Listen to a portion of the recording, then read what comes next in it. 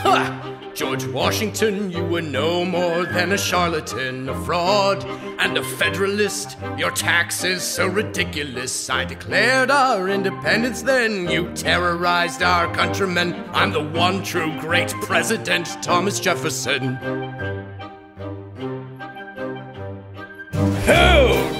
Adams, you were no more than a sad bad man. Your name and your politics, no one will remember them. There's no one more perfect than the finest living specimen.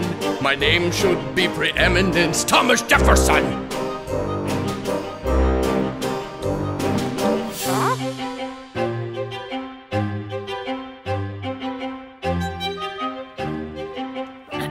Sorry to interrupt. How do you fly out there every month? I'm surprised your puny little wings have enough strength.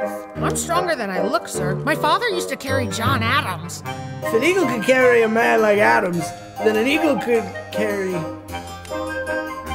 just about anyone. Sir? That's it. What's it? Jefferson, you magnificent scallywag, I think you've got it.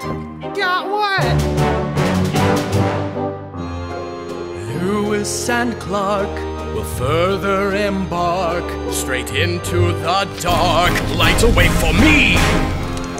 And when they are done and my victory won, I'll be the one to stand in the sun.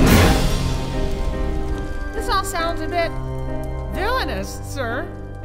Oh, Thomas Jefferson, overshadowed by lesser men.